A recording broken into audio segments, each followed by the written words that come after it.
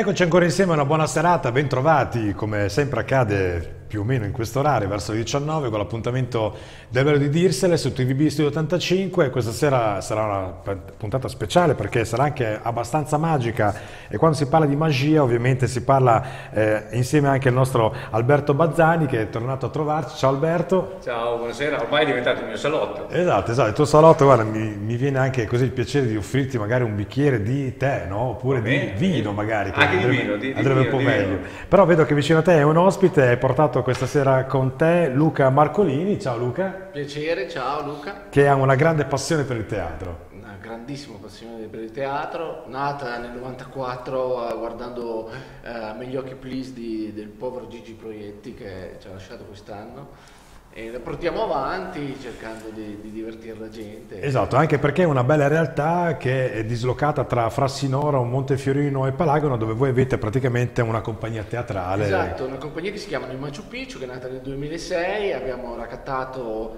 gente così che non sapeva fare niente e pian piano ci siamo un po' evoluti e adesso siamo una bella realtà con 20-25 persone, dipende dalle volte, e facciamo esatto. Avete fatto una bella cosa, soprattutto nel periodo, diciamo così, natalizio, in modo particolare, un evento sulla Befana, dice come hanno fatto che era tutto murato, chiuso, e eh, loro l'hanno fatto e lo scopriremo questa sera con noi, ma adesso ti volevo dare in là perché devi lanciare una persona che conosci, a cui poi andremo a vedere il video. Esatto, sì, volevo eh, farvi vedere, farvi presentare questa sera al canale 85 il eh, mio eh, un grandissimo amico che è Magus, che è andato a casa Sanremo con la sua canzone Come Lacrime e potremo vedere un estratto del videoclip che abbiamo girato insieme a lui. Perfetto, ottimo, quindi dopo il videoclip eh, si ritorna insieme perché questa sera è un appuntamento importante, si parlerà di Putin, si parlerà di Biden, si parlerà eh, anche di alcune situazioni che sono successe durante il corso di questa giornata, insomma non vi voglio anticipare più di tanto, godetevi questo video e poi si parte insieme.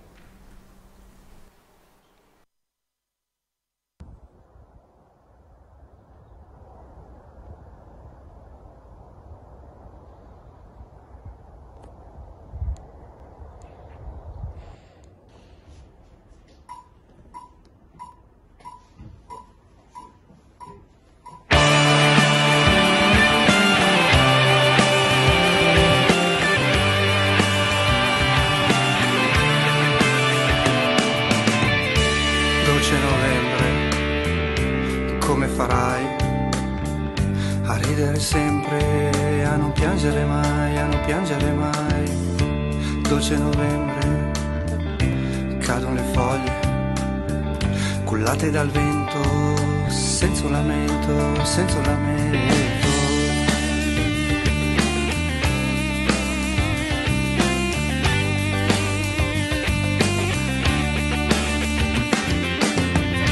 Dolce novembre, potevi aspettare, potevi tardare a farmi del male, a farmi del male. Dolce novembre, che colori di rosso, la vita di chi forse ho usato un po' troppo, forse ho usato un po' troppo.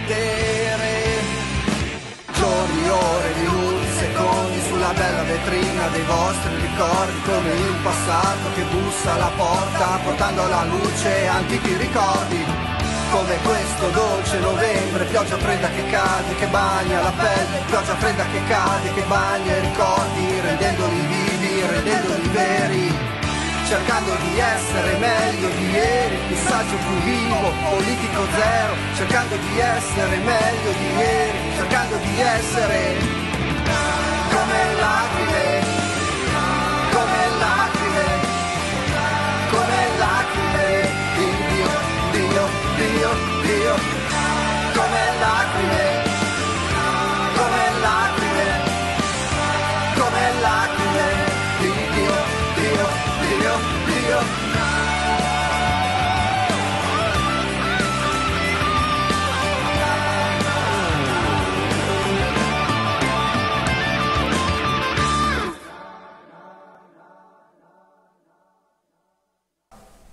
Eccoci qua, ancora insieme abbiamo ascoltato anche questa canzone che è appunto tutti in famiglia tra Luca Marcolini e anche Marcus che è il cugino, mi sembra di aver Esatto, capito. cugino, esatto. È una canzone che è stata anche a casa Sanremo, per cui ha avuto diciamo, un- una vetrina, un pedigree non indifferente, è stata ammirata da tantissimi eh, ascoltatori che c'erano in quel momento, così come i tanti ascoltatori che abbiamo noi questa sera, giusto? Mancherebbe. Solo per Bazzani. Esatto, Alberto, allora tu intanto quando si parla di Alberto si parla di rievocazioni storiche, si parla di magia, l'altra settimana ci hai fatto sognare con questo viaggio matildico che partirà se non erro il 4 di giugno, Cinque. il 5 e partirà da dove e arriverà dove? Da Canossa, da Canossa alla sera di Canossa, che sarà un, un teatro magico, veramente fantastico, dove faremo una, una sorta di cena storica, fiaccolata e visita al, diciamo, al labirinto di Matilde nella rupe diciamo, dove c'è il castello, dove c'era il castello. Poi da lì si partirà a piedi e si andrà a Carpinetti, alla volta di un altro castello molto importante e quella era la prima tappa. Poi la seconda tappa è quella di questa sera, che praticamente andrai a Esatto, cogliere andremo a cogliere- i vari spunti. Che poi il bello è che praticamente noi in maniera itinerante siamo anche, cioè tu ci regali anche la curiosità di vedere questi posti incantati e forse poco blasonati per alcuni versi, ma non, di- non per quello non hanno questo sapore di magia e soprattutto in questo periodo dove siamo veramente molto seri tutti quanti e non ricordiamo il perché, abbiamo bisogno di sognare, abbiamo bisogno di sorridere, di vivere e soprattutto di lasciare la mente libera come Sì. potrebbe essere un'ambientazione in quel periodo. Sì, lì non ha spazio, avremo la, la mente proprio libera da ogni, da ogni pensiero, questo è il nostro obiettivo, di portare la gente a sognare attimo. Esatto. cioè, Ah, bellissimo. esatto. questa. E a proposito di sogni, chissà magari qualcuno fra di voi, grazie a questo percorso matildico, potrà sognare o gli potrà capitare quello che è successo a questi nostri due amici. siamo due tre. Grazie, arrivederci.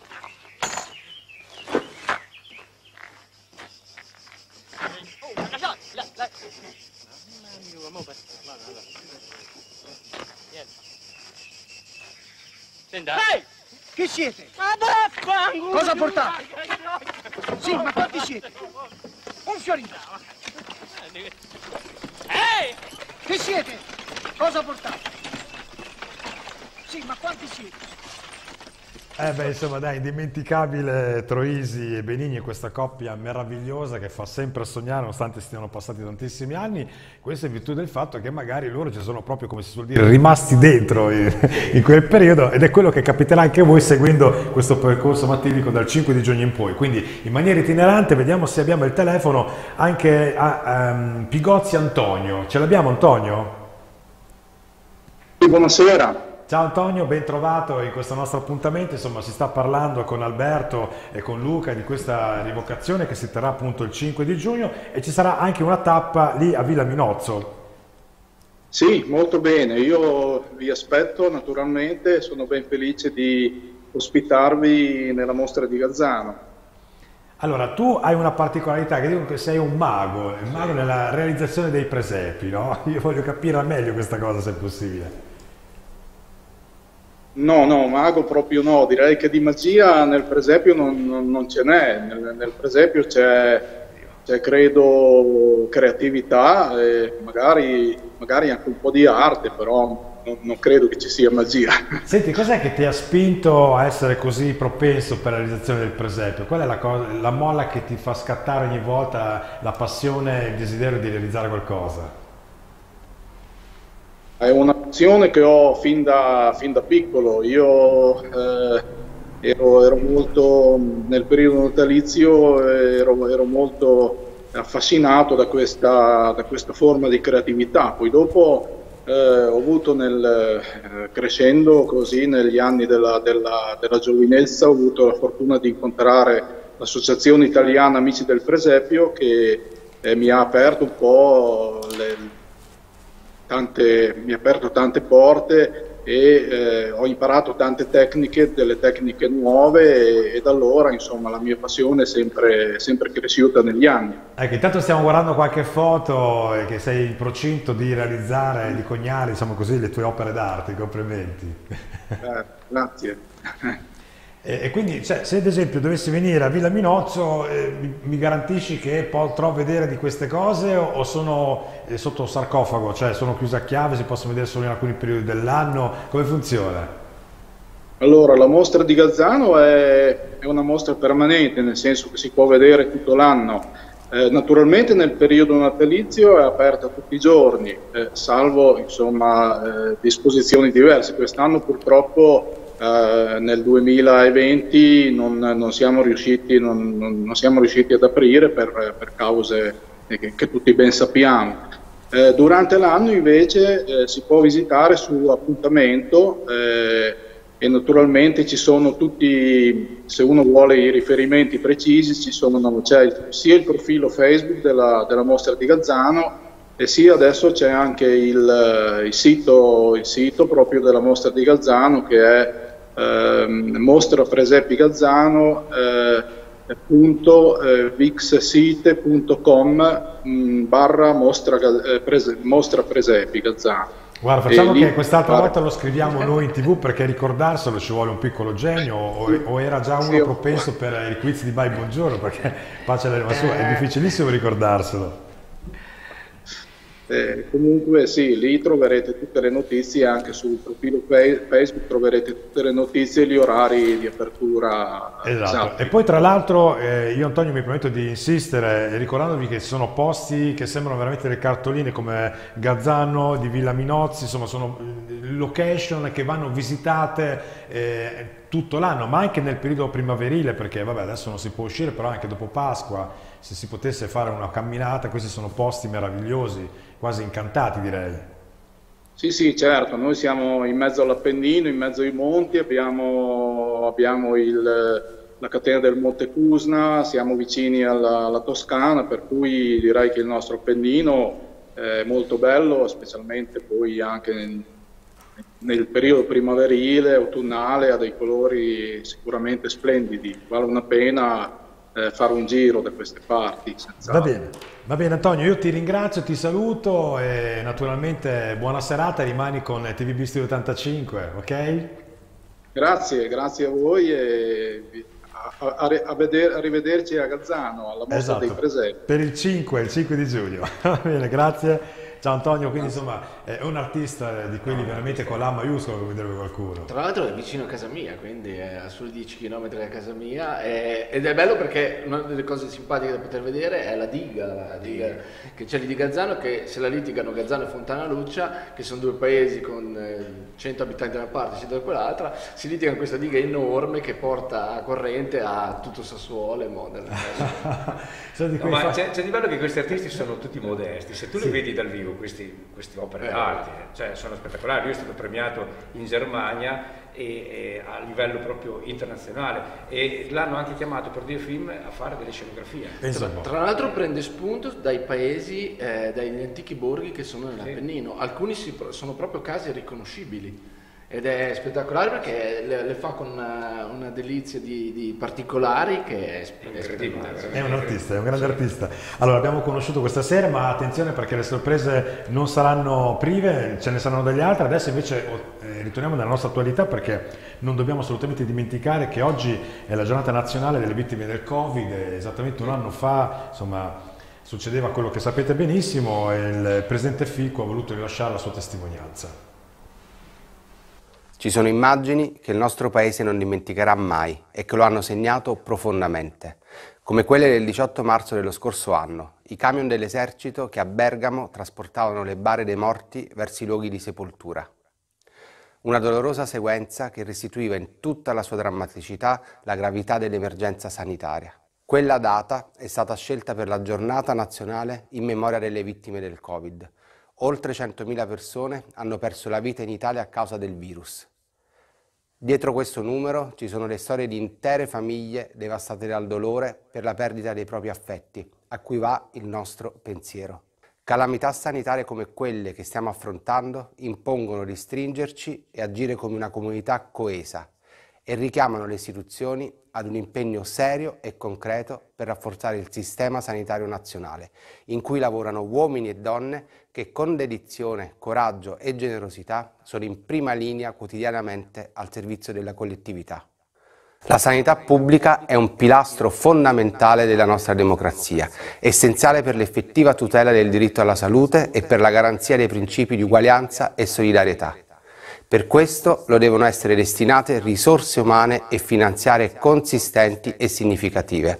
Ciò non solo per rispondere alla situazione di emergenza, ma soprattutto per assicurare servizi adeguati per tutti i cittadini ogni giorno. La crisi pandemica ha posto in evidenza, tra le altre cose, i pregi e i difetti dell'assistenza sanitaria a livello nazionale e nelle varie regioni. Bene, bene, questo era quello che appunto il Presidente Fico ha lasciato quest'oggi. se è Fico o non Fico bisogna chiederlo a una donna. Noi non, non, facciamo test, no, non credo. Non stiamo cioè era vestito bene, ecco, voi non lo so. Molto bene, molto bene. Allora, attenzione, abbiamo anche l'opportunità di poter interagire con, con voi grazie al nostro WhatsApp 346 10 77 159, altrimenti la nostra pagina Facebook TVB Studio 85 si ritorna a parlare di magia perché abbiamo un collegamento con il presidente dell'associazione turistica della Proloco di Manno che è vicino a Tuano, mi diceva, Tuano, sì, appunto sì. io non sono molto pratico delle parti, dovrebbe essere in linea con noi Iris Ruggi. Iris ci sei? Ci sono. Ciao, Ciao Iris. a tutti. Grazie di essere eh, intervenuta. Sono molto contenta di essere qui eh, ringrazio Alberto Bazzani per avermi voluta, cioè per avermi chiesto dell'invito proprio e anche la redazione.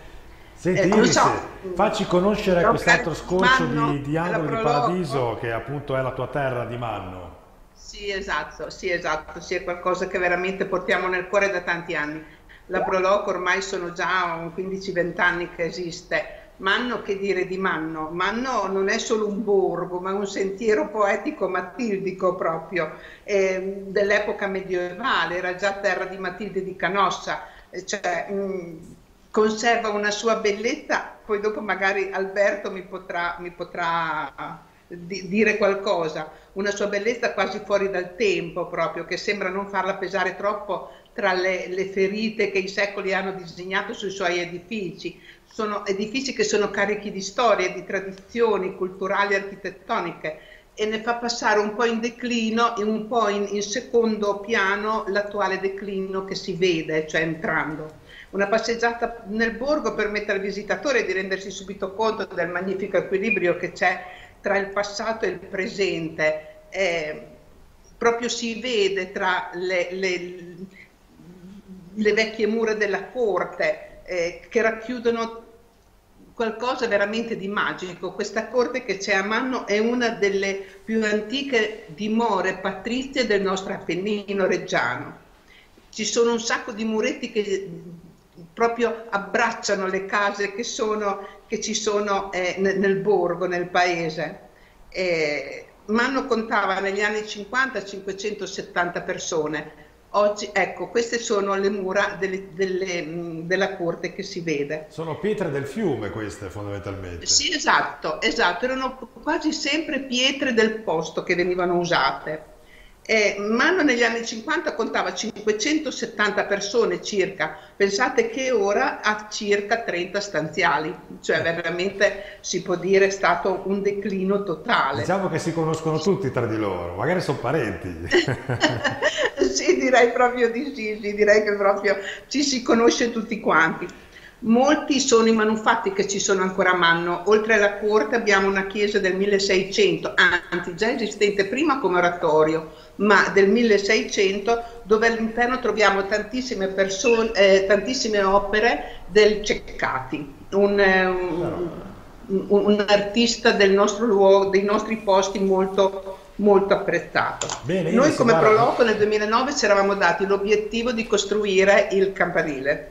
Ci siamo riusciti, le abbiamo inaugurato nel 2017, veramente con tanta, tanta, tanti sacrifici, veramente tantissimo, perché avevamo le, le campane chiuse nella, eh, nel, nella canonica, cioè sotto gli scantinati della canonica, ma eh, non avevamo il campanile che era stato negli anni 70 eh, buttato giù. Quindi perché adesso si possono sentire anche le ridotto male. campane, giusto? È stato veramente un nostro grande successo perché proprio 30 persone, siamo pochissimi, Sì. siamo veramente, eh, nella Proloco ci aiutano un po' tutti, anche Certo. fuori compreso Alberto Bazzani che devo dirlo è sempre stato molto presente ogni volta che gli ho chiesto qualcosa gli ho chiesto aiuto. Iris, allora io ti ringrazio di questo tuo intervento, abbiamo anche altri ospiti, avremo modo comunque Ok. di ricollegarci con Manno e con eh, la tua squisita Sì, delucidazione volevo del solo paese. dire il 12 giugno abbiamo come ospite,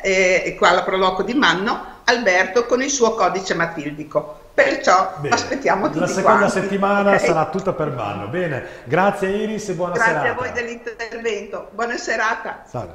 Allora, stanno arrivando messaggi, ma, ci- ma esistono le streghe? Eh, che a me me lo chiedo, non lo so, e io ne ho viste di streghe ultimamente. non so in che senso intendo. Tra l'altro è proprio un, un aggancio, diciamo, è una- un'alzata proprio a livello pallavolistico, perché comunque il 12 di giugno a Manno, alla sera, ci sarà proprio la serata dedicata alla stregoneria. La notte delle streghe, La notte delle streghe, sì. Grande. A Manno. A Manno, Verrà proprio a piovere sicuro. Sicuramente.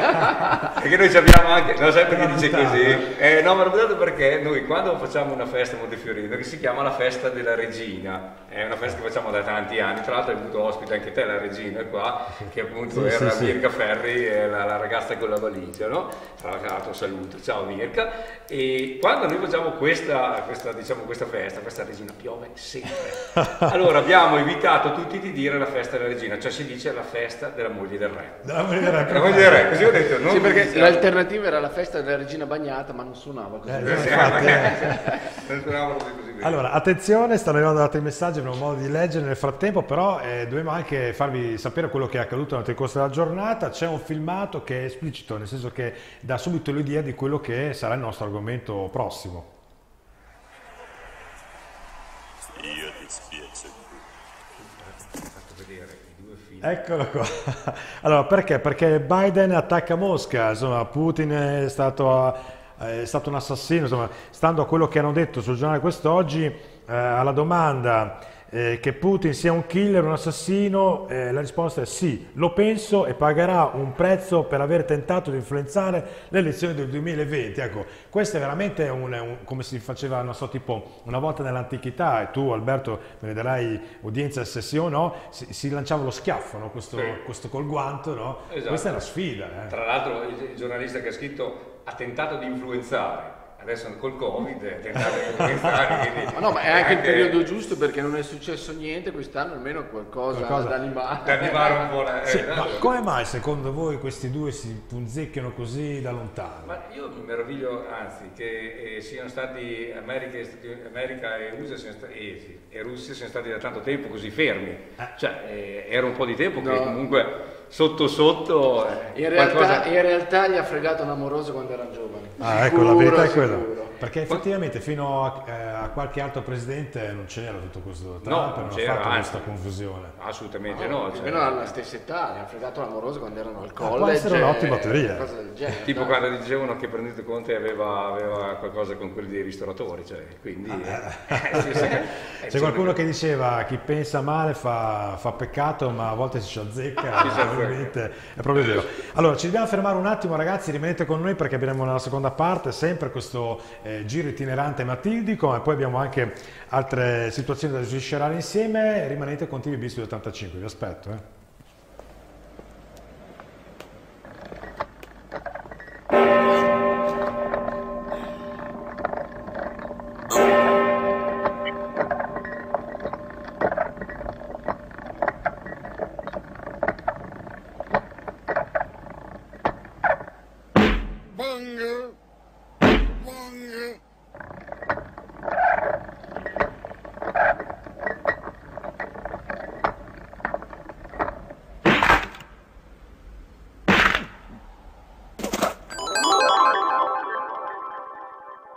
Pizzeria Arturo. Vi accoglieremo in tutta sicurezza e prevenzione, rispettando ogni norma di distanziamento.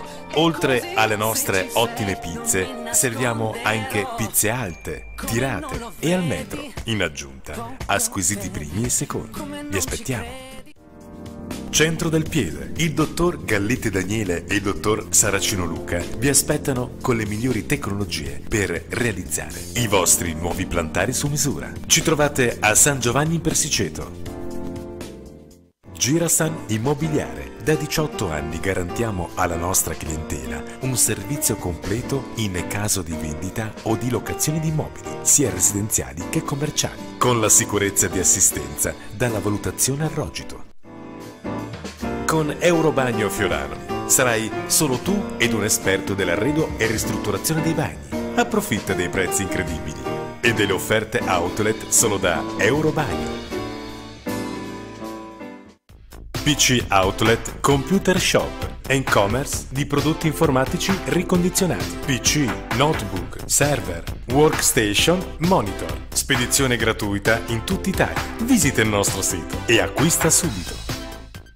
I sapori delle vacche rosse. Produciamo e vendiamo formaggi e latticini freschi dal latte delle vacche rosse. Tradizione e qualità contraddistinguono da sempre i nostri prodotti. Ci trovate in via Giambattista Vico 114, Reggio Emilia. MBS si occupa di impianti termoidraulici, lattoneria, materiali termoidraulici con magazzino e rivendita. Contattaci se hai bisogno per il super eco bonus del 110%. MBS. Dal 1981 ci prendiamo cura delle vostre case e aziende, rendendole migliori. Abita in via Rossini? 85. Grazie. TVB Studio 85. La nuova TV che ti vuole bene. Davvero.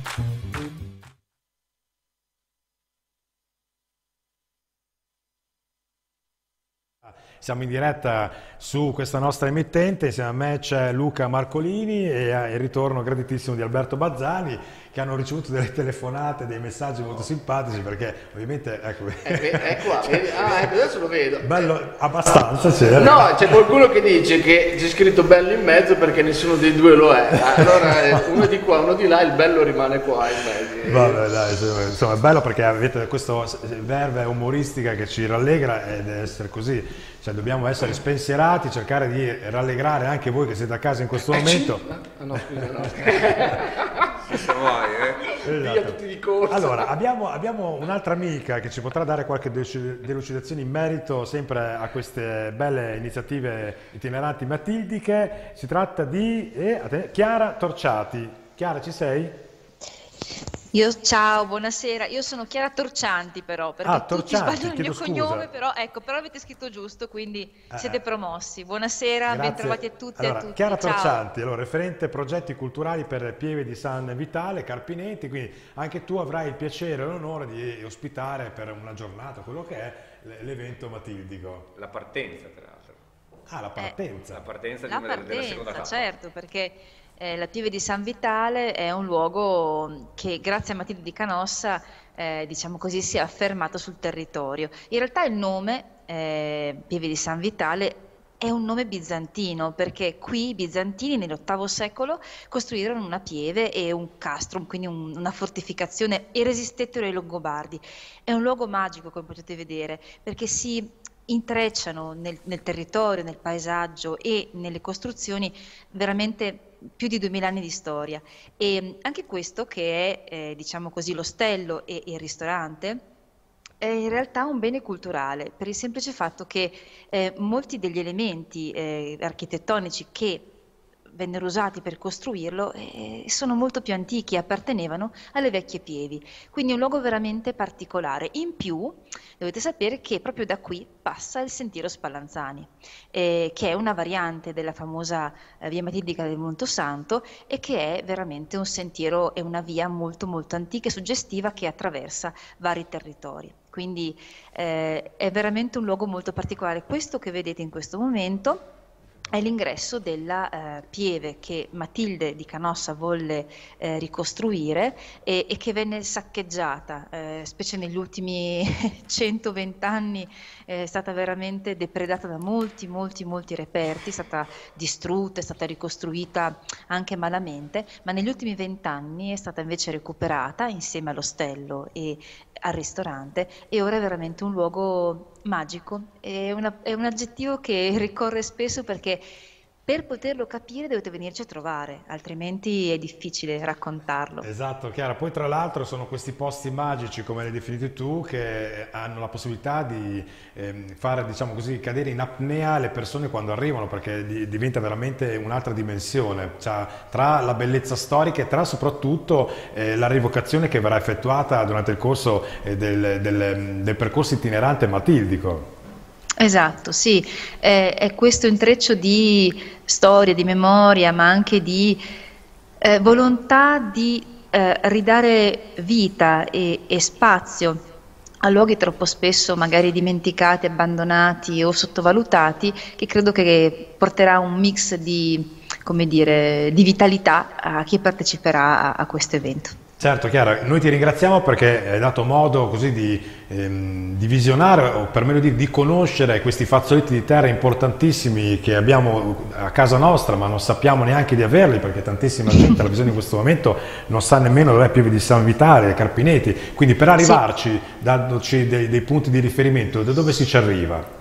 Allora, facciamo così, io vi, do, eh, vi chiedo di visitare la pagina Facebook di Pieve di San Vitale Carpinetti e il nostro sito che è pievedisanvitale.eu eh, e lì troverete tutte quante le indicazioni. Comunque tenete conto che il punto di riferimento è l'abitato di Carpineti e poi ci sono indicazioni che portano verso eh, una diciamo, località che è una frazione importante, Valestra di Carpineti, in cui c'è un monte molto molto molto evidente e suggestivo e poi da lì seguite ancora le indicazioni sono scritte in marrone perché è una località che in qualche maniera sì si fa notare ma ma non è così evidente, quindi venite a scoprirci per le indicazioni più precise appunto, ecco appunto, questo è il nostro sito. E qui trovate tutte le informazioni utili anche per i progetti e attività culturali che speriamo di poter portare avanti eh, la prossima estate, inaugurando la stagione con l'evento di cui state parlando. Bene, Chiara Torcianti, ti ringrazio, sei stata gentilissima, hai, da, dato proprio lo spunto giusto e anche eh, hai così caricato di curiosità noi che non conosciamo questi posti. Sicuramente appena ci libereranno dalle gabbie, come si suol dire, partiremo eh, dalla eh, volta di più di San Vitale. Vi aspettiamo tutti, grazie. Grazie a te, Buona grazie, grazie Chiara. Arrivederci, Buona ciao. Serata. ciao. Allora, insomma, abbiamo scoperto un altro, un altro piccolo posto immacolato dove appunto sarà eh, protagonista sempre eh, dal 5 di giugno questo percorso matildico. Qua siamo già però nella seconda settimana, vero sì, Alberto? siamo già nella settimana del 12 e praticamente ci sarà il punto di partenza che sarà la Pieve. Dalla Pieve si andrà a Manno quindi sabato delle 12 si andrà a Manno dove ci sarà la serata dedicata alla stregoneria, ecco. poi il giorno dopo si partirà dalla Pieve di Toano e con i suoi scavi e con un castagno molto particolare, un castagno si chiama castagno del, del partigiano, perché si dice che all'interno eh, di questo castagno eh, al tempo di guerra eh, fu teatro di, eh, diciamo, di un rifugio di 35 partigiani all'interno, 35. Cioè. 35 questo, partigiani. Questo è quanto cioè, io... Un, casta- mi sono... castagnolo proprio. No, cosa... o, erano, o, erano, piccoli partigiani. O erano piccoli partigiani. esatto. Bellissimo, mi è piaciuta questa cosa qua. Allora, intanto stanno arrivando tantissimi messaggi. Perché? Perché eh, siete curiosi anche voi alla visione in questo momento, a noi piace all'interno del Bello di Dirsel di darvi anche qualche delucidazione in merito alla cultura e soprattutto anche alla conoscenza del nostro territorio, perché veramente in Italia è una fucina enogastronomica ma anche di posti meravigliosi, artistici, sì. dove purtroppo a volte non sappiamo nemmeno l'esistenza e pensiamo che all'estero ci sia qualcosa di meglio, ma insomma prima conosciamo bene l'Italia e poi magari quando ci ovvi- ovviamente daranno la possibilità andremo anche all'estero. Io vi consiglio di, di visitare Posso posti. lanciare anche magari una, sì, una, una diciamo, devi, devi. per chi non vuole fare magari il vaccino, è dato che dopo magari non può andare all'estero, così può visitare l'Italia. Sì, però lo sai che nelle montagne della, della regione modenese già solo cambiare paese è andare all'estero. eh. Ah, quindi cioè, È vero, è vero anche quello. Tu vero dici anche- che oltrepassare il fiume Sì, già è già eh, andare all'estero e parlare con gente che non ha la tua stessa lingua, la tua stessa Sì, è cultura. vero. Tra, tra l'altro, eh, come particolarità, eh, vicino a San Vitale, vicino a Carpineti, eh, parlavamo prima anche con Luca, c'è una, una cosa che nessuno conosce, forse pochissimi, c'è un borgo, si chiama il borgo di Vesallo, che è un borgo antichissimo, e proprio nelle adiacenze di questo borgo c'è una piramide, proprio una piramide, è stata riscoperta e visitata e si pare che questa piramide abbia, sia di, di- di, insomma, di origine antichissima. Pare che proprio. sia parente delle piramidi della Bosnia. Della Bosnia, esatto, proprio parente delle piramidi. Beh, insomma, stiamo scoprendo veramente tanti piccoli arcani questa sera con noi. I messaggi stanno arrivando 346 10 77 159 oppure pagina Facebook TVB Studio 85. Adesso parliamo di un argomento eh, che a me sta molto a cuore perché, perché non tollero eh, questo tipo di ignoranza. Penso che sia una cosa im- impossibile, improponibile nel 2021. Si parla di un giocatore di calcio che è stato escluso dalla rosa perché porta lo stesso cognome ed è il nipote eh, di Nitto Santa Paola. Eh, quindi è una cosa veramente che non dovrebbe neanche esistere al giorno d'oggi, io credo. Cioè, proprio, è veramente una- razzismo, un, razzi- un razzismo gratuito e soprattutto ignorante, molto ignorante, ma lo volevo commentare insieme alla persona che è ancora più eh, ruvida di me in certi aspetti. Ne parliamo con Vanni. Vanni ci sei? Zagnoli? Sì, eccoci qua. Buonasera. Ciao Vanni, allora io ho, insomma, ho già espresso la mia opinione in merito a questa ignoranza gratuita e purtroppo anche perché fa parte dello sport che invece dovrebbe essere l'esatto contrario. Sì, è vero, è vero Luca, però è altrettanto vero, conosco il modo di pensare di certe società sportive. Il eh, timore sicuramente del Cosenza è quello di magari perdere sponsor, di impopolarità. Quel cognome è proprio un problema, eh, come dire, nominale, solo quello credo. È un cognome ingombrante. Padre in odore di mafia, il Cosenza esclude Pietro Santa Paola. Eh, Esatto. Sai, eh, comunque il padre è stato coinvolto in un'operazione di polizia legata al crimine organizzato e il prozio è il boss Nitto. Eh, la questione è sempre, sai, n- non dovrebbero ricadere sui figli le colpe dei padri, questo assolutamente. Al contempo però eh, c'è una questione di opportunità. eh, legare, ricordo ad esempio la famiglia Varenna del Crotone anni fa è stata eh, indagata pesantemente, poi credo siano usciti anche abbastanza puliti. Quando comunque c'è un riverbero di mafia in, in sottofondo eh, non è il massimo, ecco. E- è chiaro che ne fa le spese un ragazzo che non ha nessun tipo di colpa. Ecco, la motivazione, eh, la motivazione eh, sorprende, no? Aveva paura il presidente che si macchiasse di reati proprio, questo mi sembra davvero gratuito. Vanni, L'avvocato... Vanni, scusa se mi permetto, ma voglio dire, cioè, eh, lo sport dovrebbe insegnare la lealtà, dovrebbe insegnare eh, il rispetto a ambo le parti. Cioè, credo che siano cose obsolete queste, forse cento anni fa dovevano esistere, adesso siamo in un ambiente dove comunque il nome non deve pesare o ricadere, eh, diciamo, l'infamia non deve ricadere sui posteri, cioè nel senso che questo è un ragazzo che si allena, tra l'altro è anche un, un giocatore di buone prospettive, per quale motivo eh, deve succedere questo? Tra l'altro la madre ha denunciato la società e ha fatto benissimo, ha tutta la mia approvazione. Eh sì, succede, succede per quello, eh. succede perché la società ha paura di essere etichettata come vicina alla mafia o magari c'è un discorso anche sottile, eh, immagina Luca eh, se questo nel tempo magari non trovasse tutto lo spazio che vuole. Eh, quando sei comunque vicino a certi ambienti ci può essere anche un piccolo messaggio, i parenti, non lo so, eh, sto provando, sto provando naturalmente a entrare nella testa della proprietà del Cosenza. Certo ne fa, ne fa le spese lui ed è un peccato. Beh, è troppo facile per me. eh, adesso purtroppo nel tanto materiale che ho perduto, ho- è troppo facile per me parlarti di eh, Vincenzo Iaquinta, il campione Sì. del mondo che ho, ho raccontato a lungo Sì. per libero. Ho letto, ho verso- letto queste cose. Durante le feste di Natale e lui vive per dimostrare l'innocenza del papà. Eh, abbiamo parlato 40 minuti, era proprio a caldo della sentenza. Il papà è stato condannato a 13 anni.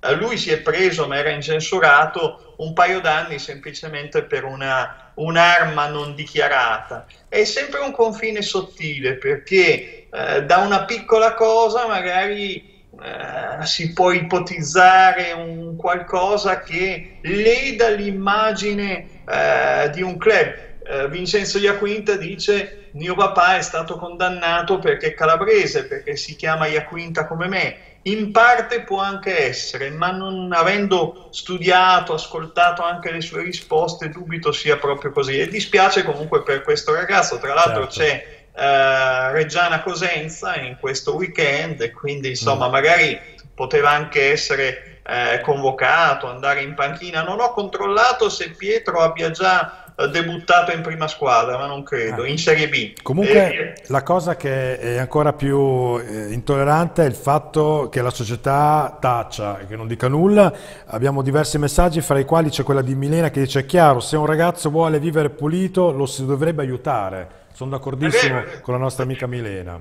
Ah beh, ma la società eh, tace nel senso che ha già fatto, già, è, è- è stata la società a escluderlo. Adesso l'avvocato a Silvestro ha spiegato che è stato trattato come un criminale, ghettizzato e quando ha chiesto spiegazioni via mail al presidente del Cosenza non ha ricevuto alcuna risposta perché in questo caso a me viene in mente, eh, ne abbiamo parlato, ne ho parlato io la scorsa settimana, la vicenda eh, di Lara Lugli, è sempre un confine sottile. Da una parte c'è una società che deve tutelare i propri interessi, dall'altra ci sono persone, atleti, e dispiace che ne faccia proprio classe 2003, messinese, e, in questi casi poi eh, lo fai per non finire sui giornali, sui giornali eh, ci vai a quel punto non sai più usci- come uscirne. Esatto, poi ci sono anche dei casi positivi, che insomma, l'eccezione che conferma la regola, tipo quella di Alice Pignagnoli, che Come è stata no, come mamma, no. la società l'ha appoggiata, gli fa fare la sua maternità e poi ritornare a giocare. Quindi io direi che, anzi, è ritornata a giocare. Assolutamente. Pensa, pensa lui, beh, da Reggiano sono un suo interlocutore privilegiato, è di nuovo nel materiale che ho perduto, ma è curioso Luca come anche i meccanismi no, dell'informazione. La- la- lei è ritornata a giocare, non ricordo quanto tempo fa, ma è passato 7-8 mesi, no? E adesso con la vicenda Lara Lugli è finita, uh, è fini- vabbè, Corriere dello Sport, Massimo Boccucci a suo tempo l'aveva fatta, ma adesso è finita sul TG2 e oggi era, pensa, era in prima pagina sulla stampa di Torino, come fosse è assolutamente incredibile come... eh, ma stessa cosa, non c'entra nulla, eh, ma alleggeriamo un po'. Gianni Bellini, grande collezionista di figurine, Fanpage, che è una grande testata online, eh, TG1, e poi Repubblica.it prima, insomma, e, e vabbè, insomma, chissà, magari Pietro Santapaola può diventare anche, come dire, eh, noto grazie a questa vicenda Sì. e trovare magari una società, perché il meccanismo de- di comunicazione spesso è questo, da una parte mi escludono, dall'altra invece ci può essere una società che crede in lui proprio per dare un segnale, sarebbe bello, eh, sarebbe bello Sarebbe questo. molto bello, sì, sono d'accordo con te. Banni, lo sai che starei ore a parlare con te perché veramente, come si suol dire, ne sai a pacchi di questi argomenti, però ho degli altri ospiti in studio, ci sentiamo quanto prima, ok? Grazie mille, buona Grazie del tuo intervento, sempre preziosissimo. Eh, Vanni Zagnoli, che poi lo vedremo anche questa sera, eh, dammi conferma, alle 23.40 con un suo special, insomma seguitelo, zizzagando, è veramente un appuntamento molto importante. Ritorniamo in studio perché ci sono i nostri ospiti che eh, sono ancora svegli, sì, sono ancora- sì, eh, no, perché insomma sono argomenti questi importanti, bisogna far sapere queste cose e soprattutto bisogna contrastare l'ignoranza, io credo, no?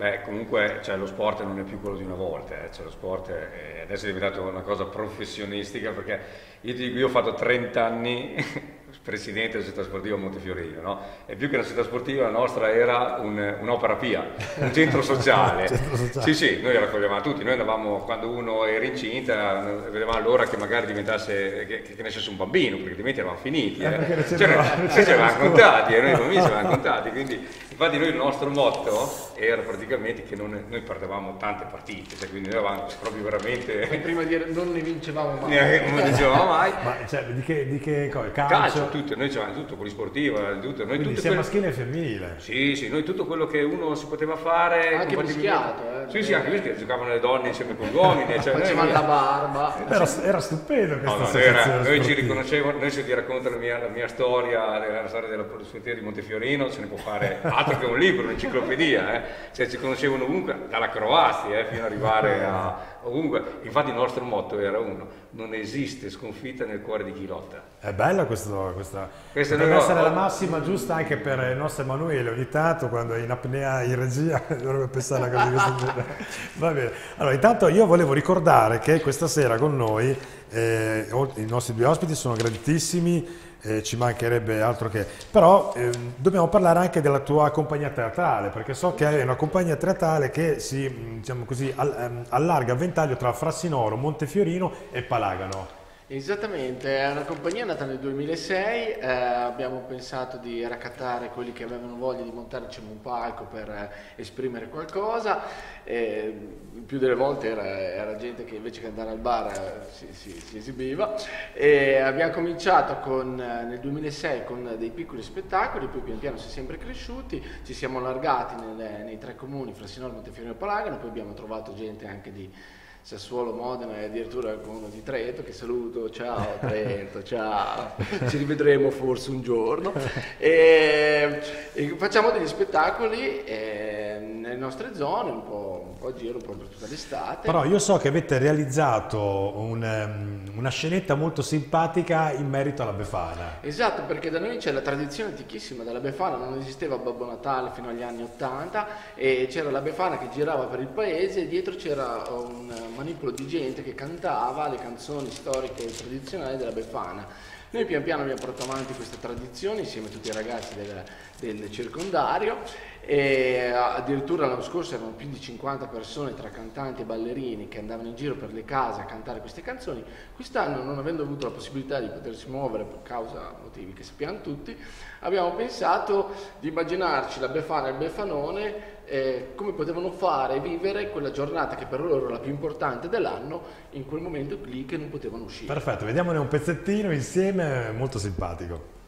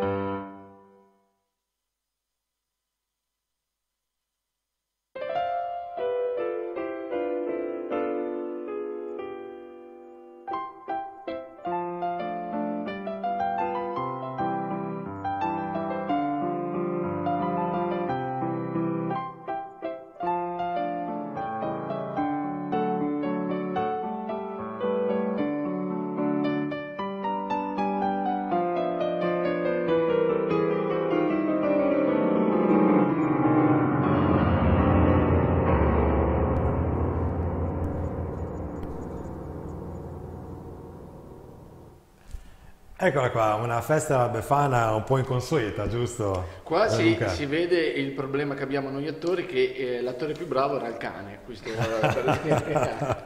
Non è vero, siete stati bravi veramente tutti e due. Non sappiamo mai chi era la Befana, ma... Eh, la Befana, la Befana, il Befanone, il Befanone.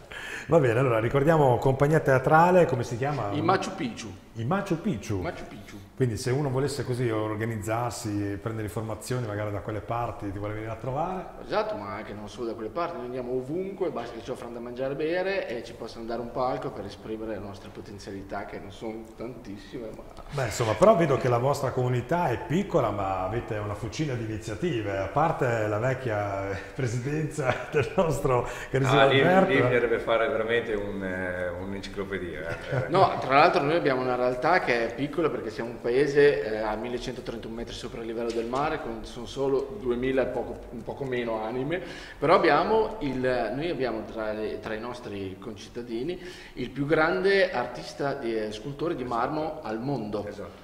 Addirittura c'è chi eh, è riuscito anche eh, un articolo sulla Gazzetta di Modena anni fa che Nicolas Cage addirittura venne a vedere una sua opera perché lui riesce ancora a, a picchiare il marmo come si picchiava nel 1500. È uno degli ultimi eh, che, che è rimasto a fare questo lavoro qua, si chiama Dario Tazzioli, lo potete trovare su internet, eh, lo potete trovare su Facebook ed è il più grande artista di marmo eh, credo del mondo. Eh, bisogna anche avere diciamo, una bella forza energetica, quindi è meglio averlo come amico questo artista che come nemico perché altrimenti dà certe mazzolate. Allora, abbiamo un filmato che diciamo che è il preludio a quello che poi andremo a parlare successivamente. Sai cedo pro trabalho, não sei o que vai acontecer. Não se o chifre está crescendo, ou se ele ainda vai crescer. Ando meio desconfiado. Ma brasiliano, dai una mossa con sto cazzo di shampoo. Alberto, questa é a saudade. É a saudade ao novo estrangeiro do Brasil. É cada sala, cada sala. Te pilhadendo o vendro, o baixinho. É o baixinho sou modo. Arrivano da Eccolo saudade. qua, Il Barbiere di Rio, un film indimenticato veramente del buon eh, Diego Batattuono. Perché? Perché ovviamente abbiamo una notizia importante sui parrucchieri ed este- estetisti che hanno lamentato Formigine in piazza dicendo sì, voi ci avete fatto chiudere e va bene, ci sta, perché insomma queste sono le ordinanze, però gli abusivi, gli abusivi lavorano sempre, anzi tante volte magari sarà capitato durante il corso della giornata di vedere gente con delle valigie un po' ingombranti che vanno avanti, poi magari dentro hanno lo shampoo, le forbici e quant'altro. Per cui insomma è giusto che si stia fermi, però bisogna anche vedere poi fondamentalmente che nessuno utilizzi l'abusismo. Cioè, lì, que- questa notizia ce l'hai detta apposta per noi stasera. Cioè, i parrucchieri e gli estetisti. No, questa è una Cioè, notizia cioè, che veramente cioè- mi ha sconvolto, cioè, mi ha sconvolto. cioè, Non sapevo che c'era gente che girava con delle forbici sotto banco, è una cosa... Eh beh, però insomma mi sembra che il nostro Luca la bella barba ce l'ha, quindi avrà Ma certo, eh, la barba me l'hanno tenuta lunga perché non posso andare dal barbiere che saluto, ciao Matte, ciao, non posso venire, Eh, non per i capelli chiaramente, ma no, è di quelle di... ma Io pensavo che una volta si girassero tipo i borsoni della droga, non girano più con la droga, girano con eh, le forbici adesso, forbici. col phon, fermi Esatto, tutti, un phon. Sono, sono illegali più le forbici Più che le la forbici droga. che, che la droga. Allora, abbiamo un filmato che ieri sera abbiamo promosso perché? Perché c'è praticamente un codice segreto che dà la possibilità di capire se le donne sono in pericolo o se sono vittime di violenza. E questo codice è un codice che è molto semplice ed è praticamente emerso un paio di giorni fa tramite una campagna che credo sia partita da parte degli USA e sta arrivando anche eh, in Europa. È molto semplice, se una donna eh, ha avuto eh, delle violenze o subisce maltrattamenti, quando è in pubblico deve attuare questo segnale in codice segreto. Mano aperta, pollice dentro e il saluto. Guardiamo il servizio.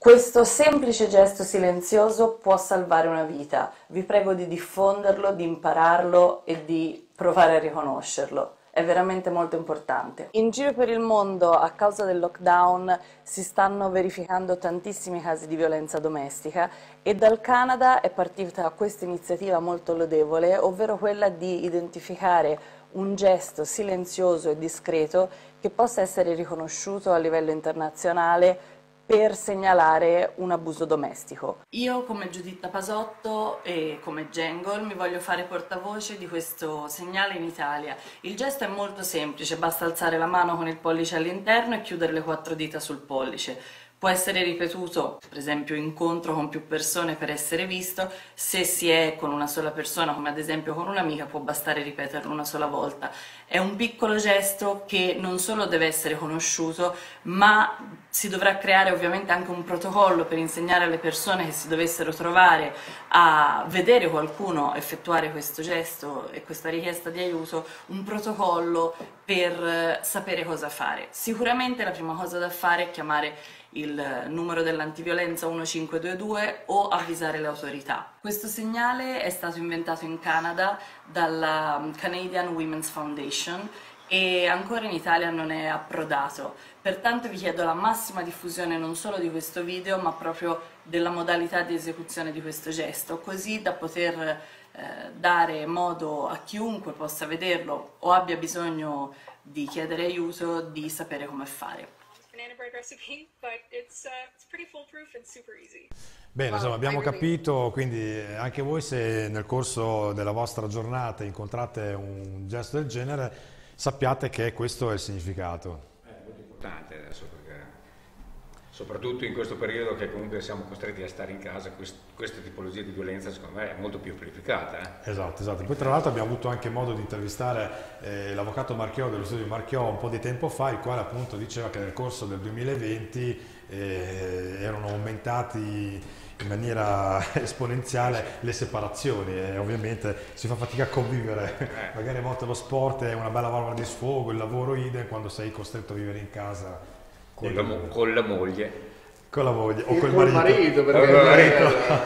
allora, ricordiamo questo 5 giugno cosa accadrà, la maniera itinerante che Matilde ha deciso di fare, grazie anche al nostro Alberto Bazzani e tutti i tuoi amici. Ma il 5 giugno partirà da Canossa, quindi il primo weekend, sono quattro weekend, quindi dal 5 giugno partirà da Canossa, per il 6 giugno poi arrivare a Carpinetti. La seconda settimana partirà dall'Ostello di San Vitale per approdare a Manno la sera e poi il mattino ripartire da Tovano e arrivare poi a Gazzano e Romanoro, nei pressi di Gazzano e Romanoro. Poi dopo ci sarà il terzo e quarto weekend che andremo a svalicare il passo delle radici e quindi andare in Toscana, quindi proseguiremo più avanti.